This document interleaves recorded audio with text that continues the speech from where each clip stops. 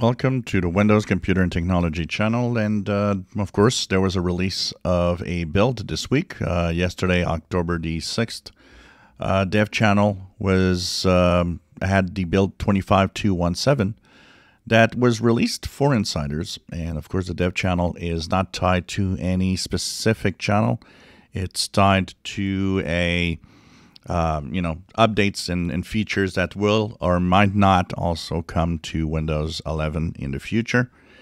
Uh, so the install went well, the typical install for me where the download, the install process, and the complete reinstall, the complete install with restart takes roughly an hour to complete. Uh, nothing seems to be going wrong for me. I've been using it uh, pretty much as uh, one of my main drivers since it's uh, updated yesterday. Uh, what's new in here? Well, not much actually. It's a few little things that could be happening. Uh, first of all, one of the things is now they are actually asking third party developers to do widgets. So we were talking about that in the past where we um, kind of heard that, you know, there would not be just widgets from Microsoft in here, but widgets could come from all over the place.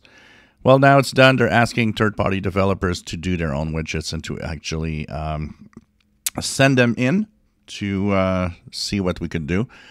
That could change what the widgets are all about. I mean, if you have companies or if you have developers that want to do widgets, maybe we'll have some interesting stuff to look at in there that we could add or not. We'll see as time goes by. There's also uh, some insiders. There's uh, a new video calling feature in the chat that uh, for some. So if you uh, use that or if you look at chat uh, in the um, in Windows 11, uh, you might actually see that there's some kind of new video calling stuff happening in here.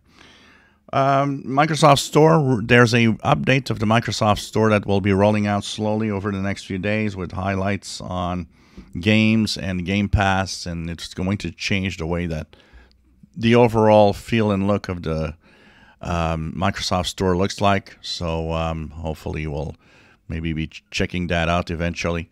So this is all uh, coming. So here Microsoft Store for me has, of course, uh, updated. So that means that uh, there probably could be some changes here to look at. I'm going to go through it and uh, see what what's next.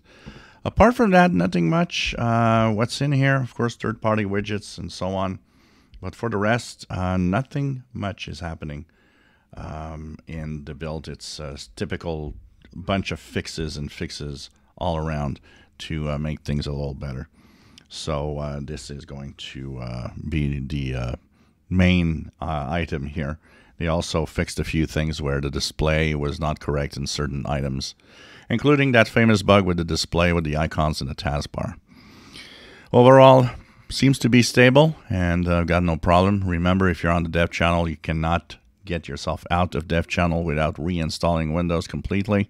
It is something that you have to remember. If you enjoy my videos, please subscribe, give us thumbs up. Thank you for watching our videos.